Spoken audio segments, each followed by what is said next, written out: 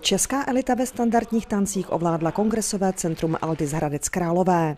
Právě tam se totiž konalo mistrovství České republiky v tanečním sportu 2017. Takže je to mistrovství České republiky ve standardních tancích, je tady devět kategorií, letošním roce je to jedna z největších účastí, 247 párů a vidíme tady kategorii junior 1, junior 2, mládežníky kategorii novou do 21 let, potom dospěláky a letos poprvé i v seniorských kategoriích jedničku, dvojku, trojku a čtyřku.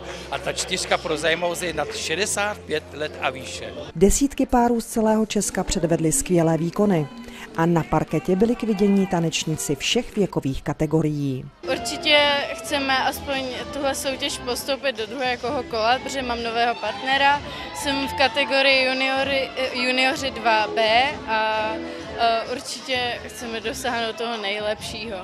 Hodně trénujeme. Mistrovství České republiky v tanečním sportu je prestižní záležitostí a organizátoři akce v Hradci Králové potvrdili, že laťku drží velmi vysoko.